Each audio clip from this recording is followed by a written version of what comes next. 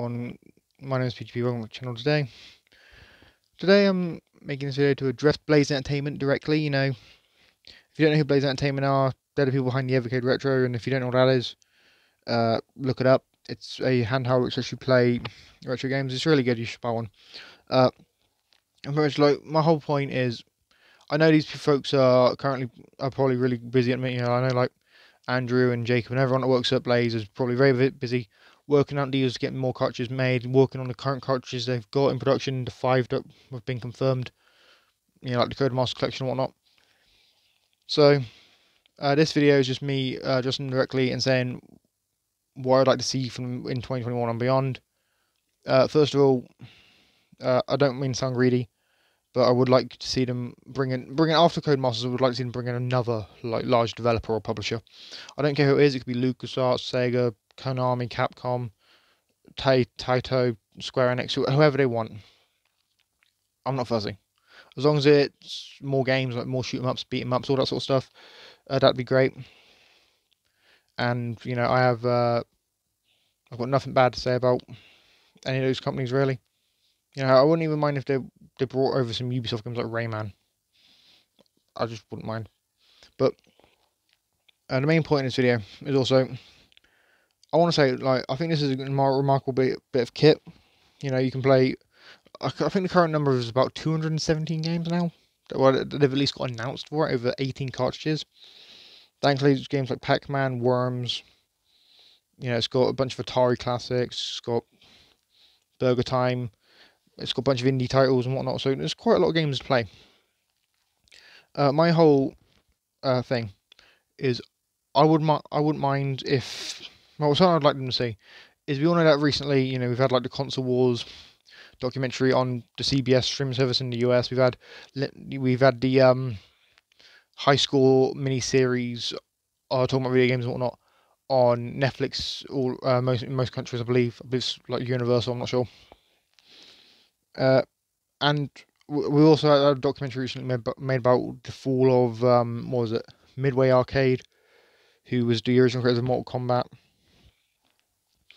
and sort of my whole my whole idea is this might sound stupid to a lot of people, but I'm thinking what Blaze should do as a way to promote this doc, to, as a way to promote the Evercade and the games, and you know what be able to make more deals with more studios and more developers and more publishers would simply be you know what they should do.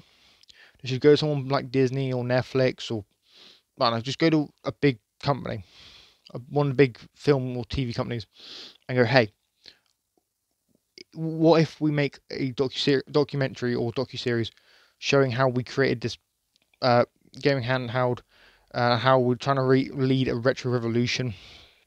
Because I honestly do think it's a really great uh, piece of kit. You know, like as you can see in this photo, I've got six of the cartridges.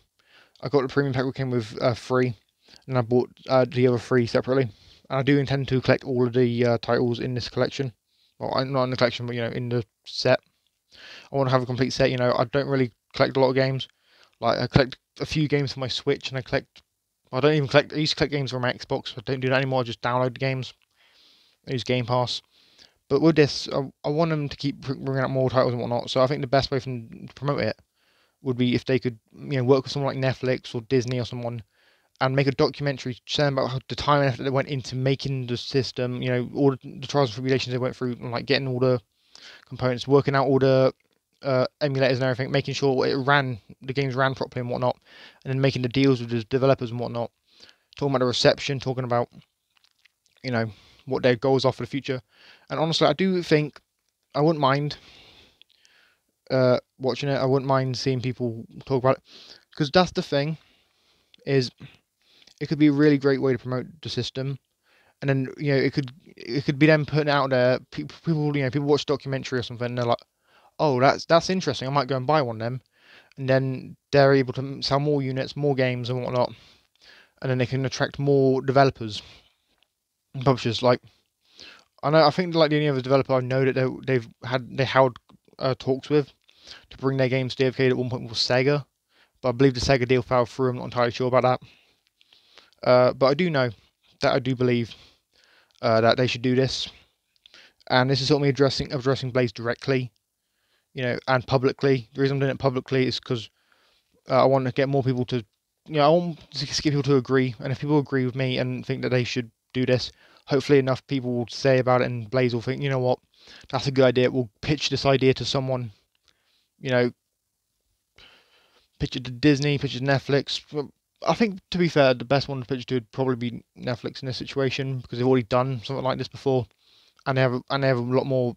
They have millions more users than any other streaming service, and they're available in most countries. So, I reckon that is that would be a great idea for them.